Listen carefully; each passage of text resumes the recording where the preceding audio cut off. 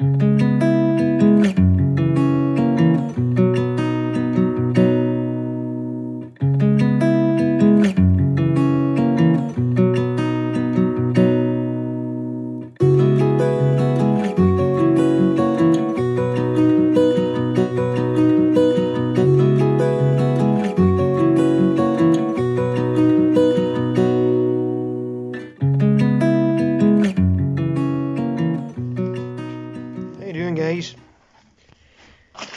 just received my um, new coil in the post for the blue SH50 so I'm going to fit it now and I'm going to see if it's going to give us any answers.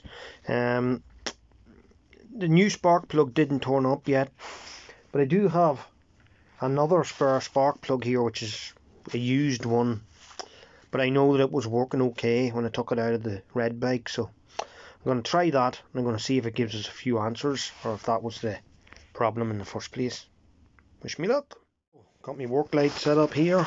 As you can see I have the plastics off the bike. And if you come down here to the side of it, you'll see that the coil is fitted, if I can point it out, just here. One bolt. So I'm going to undo that. I'm going to put the new one on and see how we get on just to point out um, that when you get these there's two wires. One's black and yellow stripe and the other one's green. And when you look at your coil this is the old coil. The green goes to the green. See that? Black to black. New coil's no different. Green black. So you fit the wires on the same way and you screw it on the same way back onto the bike so I'm not doing a big long video today so I'm going to put it on and then I'm just going to try the bike and I'll video that whenever I get that far. Okay so coil's fitted. Let's just turn on the fuel jump in and see what happens. Will it even start? Is this the right coil? Who knows? Well I'm not getting anything in the battery so hopefully the battery's not gone done on me. Uh, wiring's a bit dodgy in this bike, I have to sort it out yet. There we go.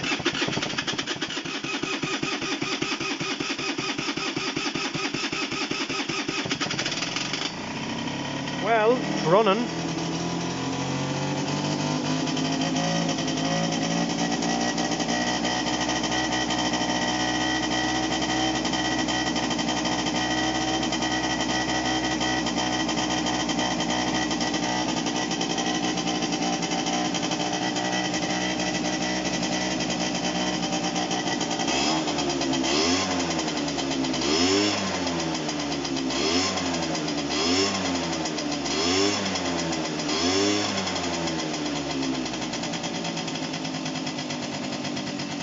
I'm going to give this a few minutes to heat up. I'm going to take it out of the shed here.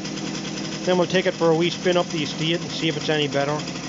Well, I took it for a little spin up the estate here. And I'm happy to say that uh, the coil has sorted my issue. Well, I believe it has. The bike's just not fully warmed up yet to fully know. But I'm pretty sure it has. And I'm going to take us for a wee spin back up to the house here just so you can see. And this thing has a little bit of go to it. Speedometer's not working unfortunately.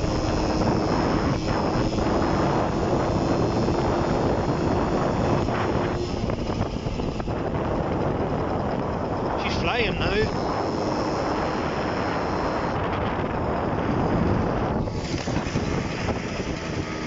Sorry, there's no back brake. I just had to use my uh, front brake there to slow down for the corner. So she's running good now. Very happy. So that's all blue up and running now. And all I have to do now is get the plastics and start to paint it up. Um, I do have papers to get for it. That won't matter. Hopefully we'll get them. It was a UK registered bike uh, somewhere around 1994 so hopefully the UK guys in Swansea will have a record of that But anyway, I'm at my home now, so I'm going to have to go because I have a little alleyway to negotiate here. And I can't do it with one hand, so... Thanks guys, see you later. So there you are guys, I am extremely happy. My hands are effing freezing because it's minus 3 here at the minute. And I had no gloves, but I am so happy because the bike is now running the way it should be running. And I can now get on with the restoration and I may just get it running and get the bits that it's missing plastics wise and just sell it on I don't know um, all depends on my bank account and on time because I do want to get at this CB125RS it's my most important project. The thing that means the most to me. And these are not as important to me. So my hands are freezing here. Uh, over the moon. Over the moon. So see you next video guys. Thanks for watching and any comments are appreciated. Subscribe hit the bell for notifications of any videos I'm putting up um, just to let you know like if you're having an issue where uh, you're getting your bike up into the high rev range and it starts to spit and fart and mess around. There's a good chance that it's your coil if it's an old bike and the coil's on it from probably day one. Uh, it's worth changing out just to find that out. Um, there you go. Problem solved. See you later, guys.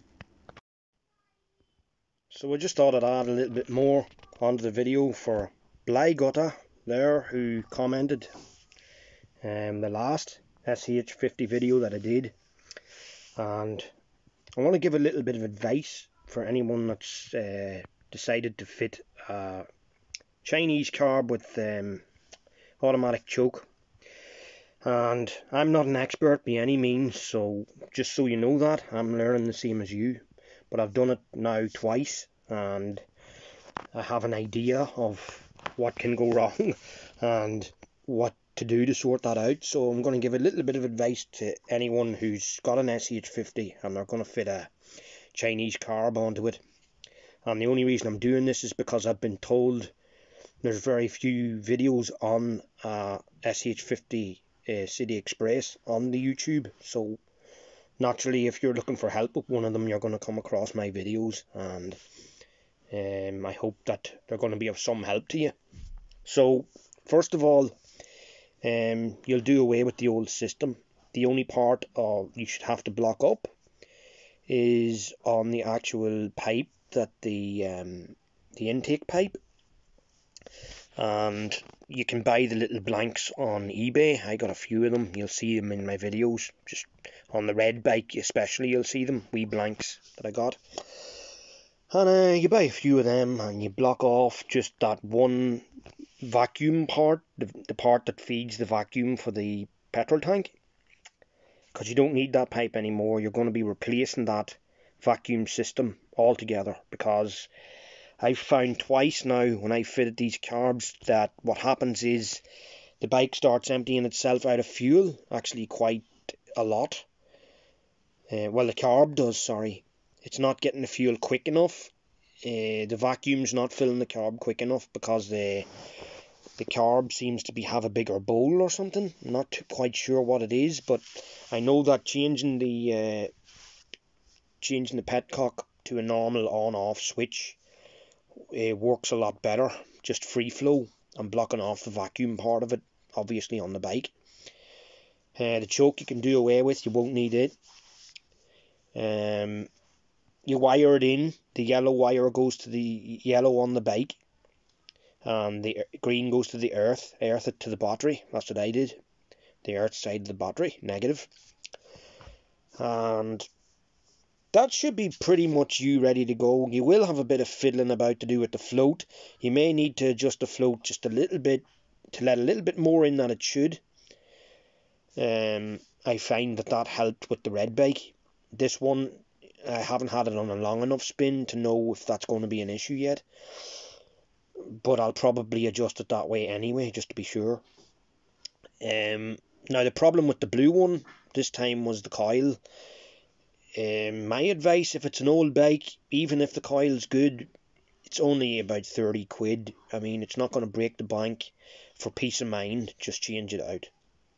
Um, change it out, and then anything else goes wrong, you can rule it out as an issue.